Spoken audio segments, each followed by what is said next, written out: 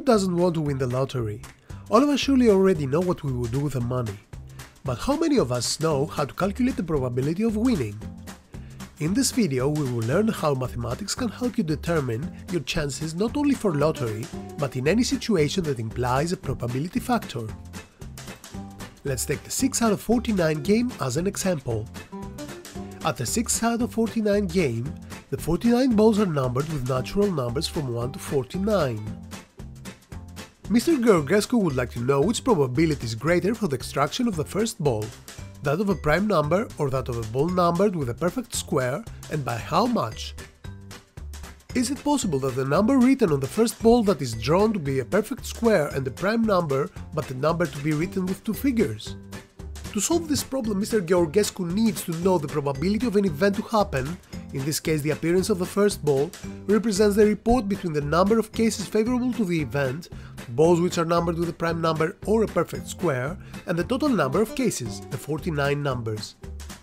The perfect squares which appear on the balls are 1, 4, 9, 16, 25, 36, 49, a total of 7 balls imprinted with perfect squares. Prime numbers are the numbers which only have two divisors.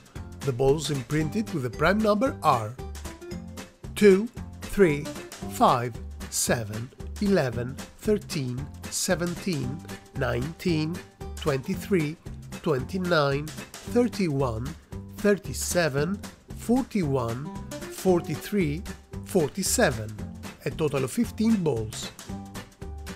The first part of the problem is easy to solve because the number of prime numbers is greater than that of the perfect squares.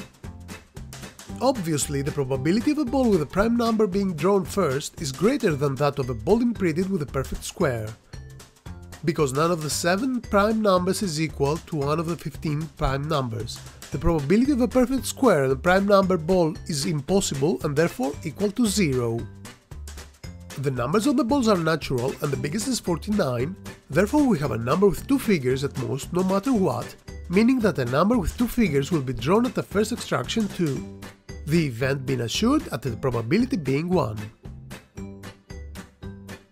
Let's recap. The probability of an event is equal to the report between the number of favorable cases and the total number of cases. The probability of an event happening is between 0 and 1, if the probability is 0, the event is impossible, and if it's equal to 1, the event is assured.